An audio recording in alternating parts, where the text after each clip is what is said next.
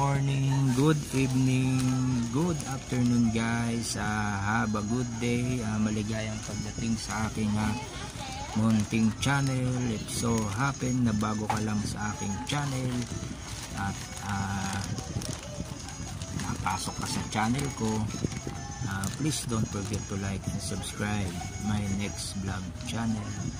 At ngayon pong uh, hapon eh meron na naman tayong isang parcel na dumating.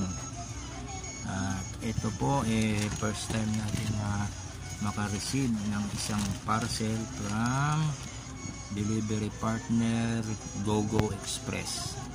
Uh, from Tagig Metro Manila ang ating order. Ito po ay ang strontium uh, USB and uh, flash drives from uh, Shopee and uh, ito po eh legit store because it is from the mall.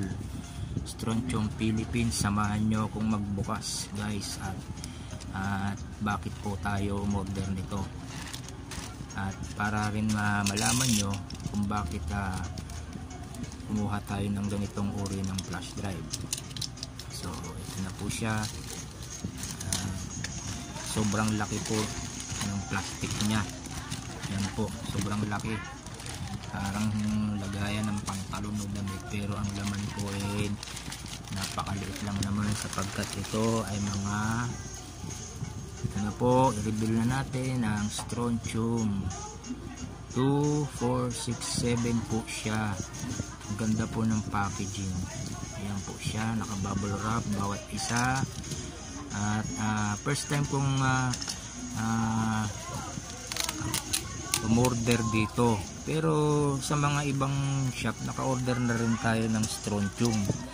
Pero kasi uh, bilang uh, bahagi ng ating uh, negosyo titinda tayo ng mga memory USB flash drives. At ito po eh tested nating gamitin. Sapagkat uh, I think so uh, bihira po napakabihira ang uh, peke, mga peking uh, flash uh, memory ng strontium. Ito po ay mga 8GB strontium.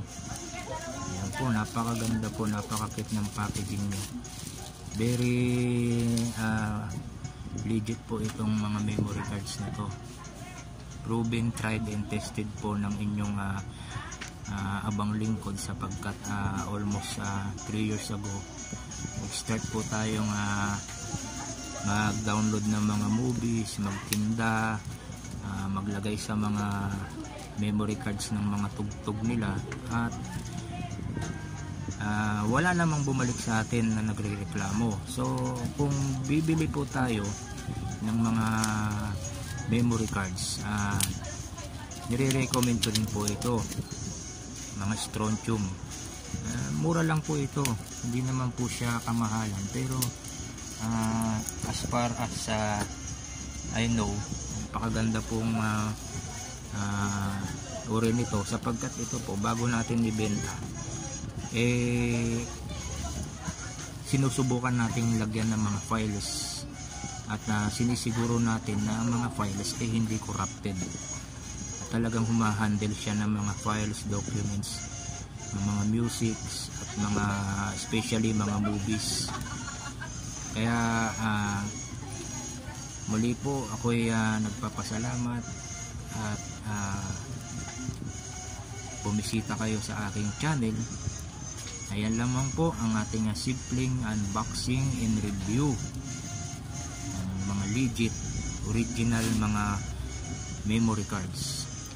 Uh, kung gusto nyo po balikan nyo po yung mga lumang video na nagtampok din ako ng ibang uri ng brand ng mga USB at flash drive. Uh, hindi naman po tayo advertiser pero kailangan po natin uh, malaman kung legit ba ang isang produkto sapagkat ito po eh ating itinitinda rin upang ang mga kababayan din natin eh hindi naman sila mapeke sapagkat sila ay willing naman bumili at ah, worth, worth it naman ang ah, ibabayad nila sa atin sapagkat ah, original naman ang mga tinitinda natin